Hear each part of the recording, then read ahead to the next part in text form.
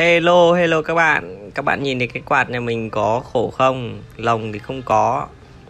Đằng sau này thì là tốp năng nó gãy lâu rồi Phải dùng dây đây. Và thỉnh thoảng là nó bị uh, gọi là sát cốt. Bật lên là nó e e không quay là mình ghét là mình phải tháo cái lồng ra này để thò tay vào. 7 Tức là quay lấy đà cho nó nhá. Chứ nếu không là nó không quay đâu và độ này là nó bắt đầu kêu o o o nha. Thỉnh thoảng lại phải dùng điều khiển con chat đập pop và phát thì nó mới hết kêu. Ban ngày không sao mà đang tối nằm ngủ mà cứ phải vục dậy để đập thì bực lắm.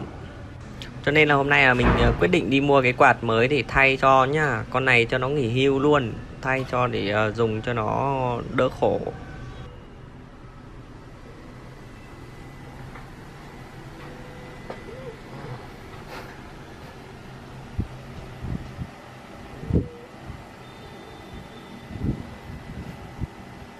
Sau một hồi lòng vòng ở trên à, mạng cộng với cả lòng vòng ở các siêu thị là MediaMart rồi Pico. Và cuối cùng là mình nhìn thấy một em quạt khá là ưng mắt. Con này là của công ty Nhật và sản xuất tại Malaysia các bạn nha. Hãng là KDK sau khi đi một vòng các à, siêu thị thì mình xem à, những con của wow. uh, Panasonic này của uh, Mitsubishi này uh, của Midea rồi uh, điện cơ 91 điện cơ Bộ Quốc phòng vân vân vân và kiểu dáng các kiểu. Thì mình quyết định lấy luôn em này à, tên là N30NH của hãng KDK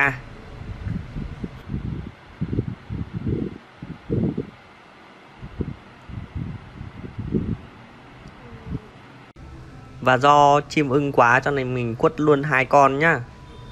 Đó hai cái hộp luôn. Ờ, bây giờ mới bóc hộp ra đây. Sau khi so sánh giá thì ở giữa các ờ, siêu thị điện máy ấy, thì mình sẽ quyết định lấy ở Nguyễn Kim.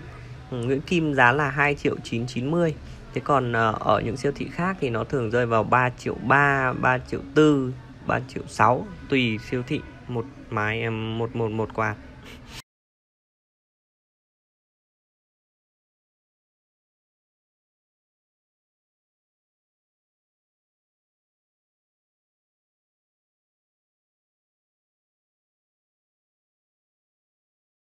Ờ, về bảo hành thì uh, con này 10 ngày đầu tiên được đổi mới. À không ý là đổi sang sản phẩm khác nếu mà không thích. Thế còn uh, trong vòng một năm nếu mà có lỗi ấy, thì đổi một con khác mới. Và bảo hành thì tổng là 36 tháng tức là 3 năm. Hãng thì bảo hành điện tử qua số điện thoại của các bạn luôn cho nên là không phải giữ giấy tờ gì cả. À, cái hộp này thì cứ vứt ở đây để xem uh, có phải đổi hay cái gì không thôi lúc nãy thì đã test quạt rồi. Quạt này mình nghĩ là nó sẽ rất là bền bởi vì nó các các chức năng của nó cũng cơ bản thôi. Mình rất rất rất rất ưng con này ở cái thiết kế kiểu dáng của nó cực kỳ nhỏ gọn nhá. Các bạn xem này ở dưới um, cái chân đế cực nhỏ gọn lại có một cái hốc để cái điều khiển cực là đẹp.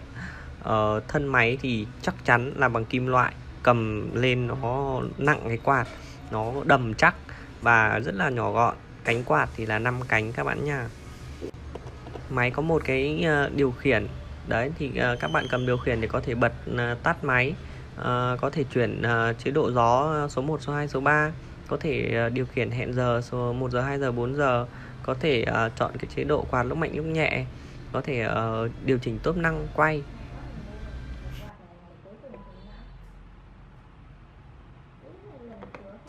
Một cái quạt thì mình cũng chỉ cần những cái chức năng cơ bản giống như con này thôi. Thứ nhất là ba tốc độ gió tốc độ uh, số 1 số 2 số 3 uh, ờ, và có thêm một cái uh, chức năng nữa là à, khi khi sử dụng cái chức năng này ấy, thì gió nó lúc mạnh lúc nhẹ lúc mạnh lúc nhẹ nó đảo đi đấy.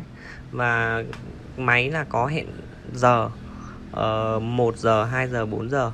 Nếu khi mình bật hẹn giờ thì sau một tiếng 2 tiếng hoặc 4 tiếng thì nó tự tắt đi giống như kiểu là mình ngủ ban đêm ấy nhưng mà mình hẹn giờ để cho nó khỏi đêm nó lạnh quá. Về kiểu dáng của quạt thì nó là quạt lỡ, cho nên là nó không không to và cao quá các bạn nhé nhưng mà khi tốt lên thì các bạn cũng rất là cao. Ví dụ các bạn ngồi ở trên giường ngồi trên cái ghế nào khá cao ấy, thì mình có thể tốt lên cao, vẫn thoải mái. Nhưng mà nó, cái cái cái cánh quạt này nó không được to lắm.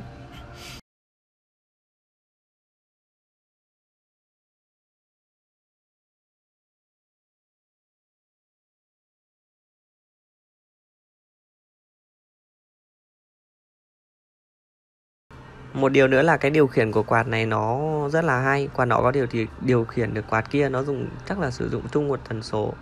Nó không phải là cái điều khiển nào, nó điều khiển riêng của quạt đấy.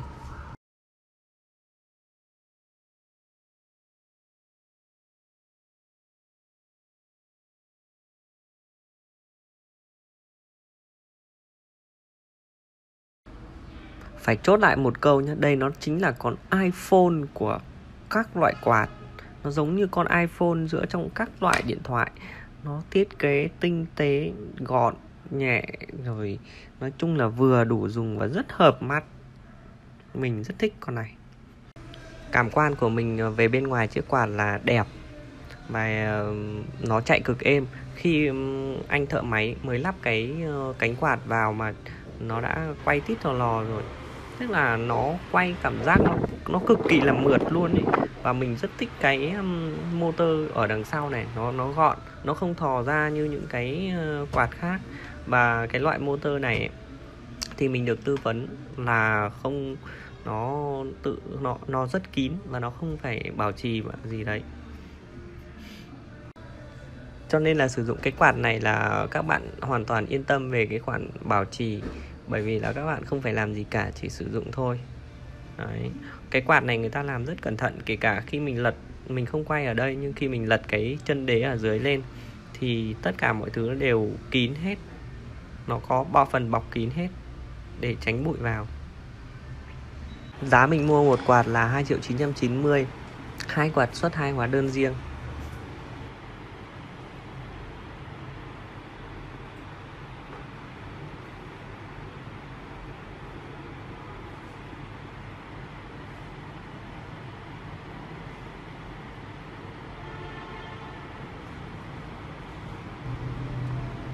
Đó là hai cái quạt mình vừa tậu được, các bạn xem tham khảo nha. Hẹn gặp lại các bạn ở video sau. Nhớ like, subscribe, ủng hộ mình nha.